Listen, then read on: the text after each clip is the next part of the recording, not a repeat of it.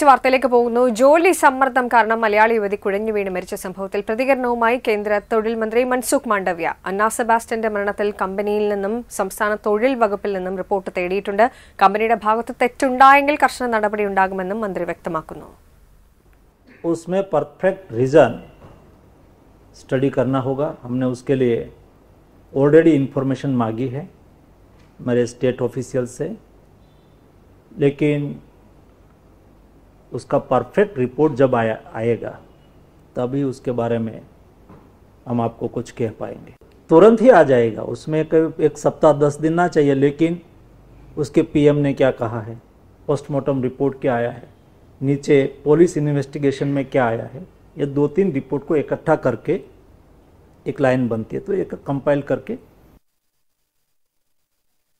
ഈ വിഷയത്തിൽ മഹാരാഷ്ട്ര സർക്കാർ അഞ്ച് ദിവസത്തിനകം റിപ്പോർട്ട് നൽകും. തൊഴിൽ മന്ത്രാലയത്തിന് റിപ്പോർട്ട് സമർപ്പിക്കും. ധനേഷ് രവീന്ദ്രൻ വിവരങ്ങളുമായി ചേരുകയാണ്. ധനേഷ് വലിയ പ്രതിഷേധം ഉയർന്ന ഈ സംഭവത്തിൽ അടിയന്തര നടപടികളിലേക്ക് നീങ്ങുകയാണ്. വിവരങ്ങൾ എങ്ങനെയാണ്?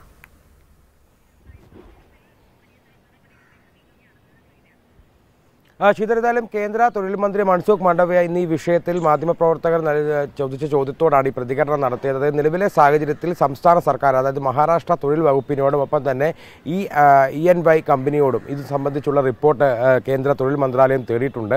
ഇത് സംബന്ധിച്ചുള്ള ഉദ്യോഗസ്ഥ തലത്തിലുള്ള ചില അന്വേഷണങ്ങളൊക്കെയാണ് ഇപ്പോൾ നിലവിൽ നടക്കുന്നത്. ഈ റിപ്പോർട്ടുകളെല്ലാം ക്രോഡീകരിച്ചതിന് ശേഷം പോലീസിൽ നിന്ന് അടക്കം വിവരങ്ങൾ തേടിയതിനു ശേഷം ഇതുമായി ബന്ധപ്പെട്ട് എന്താണ് മരണത്തിന് കാരണം എന്നുള്ള കാര്യത്തിൽ പ്രധാനമായ ഒരു കണ്ടെത്തൽ ഉണ്ടായതിനു ശേഷം അത് സംബന്ധിച്ച് നടപടി ഉണ്ടാകുമെന്നുള്ള കാര്യമാണ് ഇപ്പോൾ മന്ത്രി വ്യക്തമാക്കുന്നത്.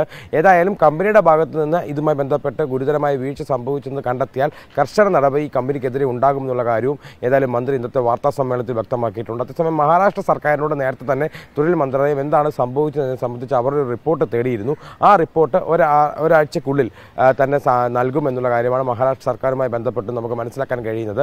ഏതായാലും ഊർജിതമായ ഒരു നടപടികൾ ഈ വിഷയത്തിൽ ഉണ്ട് എന്നുള്ള കാര്യമാണ് കേന്ദ്ര തൊഴിൽ മന്ത്രാലയം അടക്കം വ്യക്തമാകുന്നത്. എന്നാൽ പതിവ് രീതിയിൽ നടത്തുന്ന ഏതെങ്കിലും ഒരു സമിതിയെ വെച്ചുള്ള അന്വേഷണമല്ല. പകരം തൊഴിൽ മന്ത്രാലയവുമായി ബന്ധപ്പെട്ട ഉദ്യോഗസ്ഥർ മാത്രമാണ് ഇത് സംബന്ധിച്ച ഈ റിപ്പോർട്ടുകളൊക്കെ തന്നെ തേടുന്നത്. ഈ റിപ്പോർട്ടുകളെല്ലാം ക്രോഡീകരിച്ചതിന് ശേഷം അത് സംബന്ധിച്ച് ഒരു നടപടി ഉണ്ടാകുമെന്നുള്ള കാര്യമാണ് ഇപ്പോൾ മന്ത്രി വ്യക്തമാക്കുന്നത്. ശീതൾ.